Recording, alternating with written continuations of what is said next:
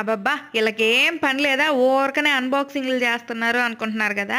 ఇది భలే ఉంటుంది అన్బాక్సింగ్ అయితే. చూసేసేయండి. ఏంటిది అనేది చాలా ఉపయోగపడుతుందండి ఇక్కడ ఆస్ట్రేలియాలో ఉండే వాళ్ళకి.